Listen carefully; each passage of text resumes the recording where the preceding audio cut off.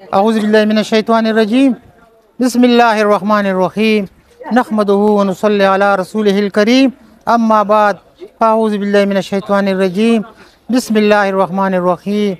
زه د الکرم فرندز پاکستان او د پیر امین حسن شاه صاحب مرګرو ته د غي تابعدار او د غي متقیدون ته دړه د سړنا السلام علیکم ورحمت الله تعالی وبرکاته سلام پیش کوم چې دې زموږ په دې سخت حالاتو کې راغلي دي مونږه سیلاب زده خلک یو او فزت د خلک یو الله زموږ نه خفه دی الله زموږ نه راضي شي دی راغلي دي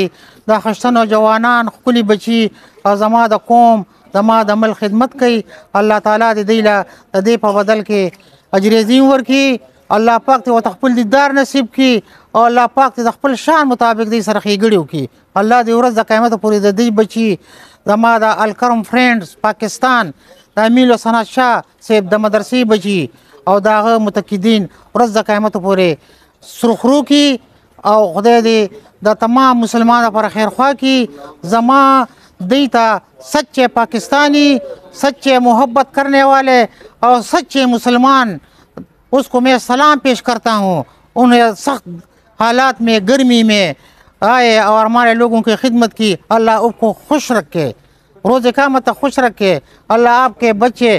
خوبصورت بنائے ایمان سے منور بنائے قرآن عظیم شان کی شان سے کرامت سے معجزہ سے منور فرمایا اللہ آپ کو روز قیامت تک خوش رکھے اللہ آباد رکھے اللہ پاک سلامت رکھے